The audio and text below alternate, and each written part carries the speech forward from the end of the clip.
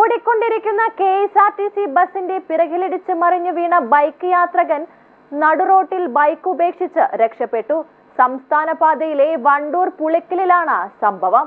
നിലമ്പൂരിൽ നിന്നും തൃശൂരിലേക്ക് പോവുകയായിരുന്നു ബസ്.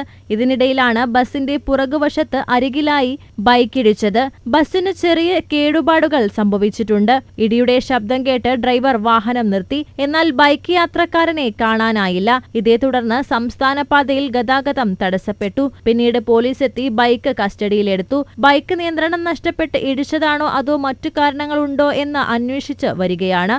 മലബാർ ടൈംസ് മലപ്പുറം.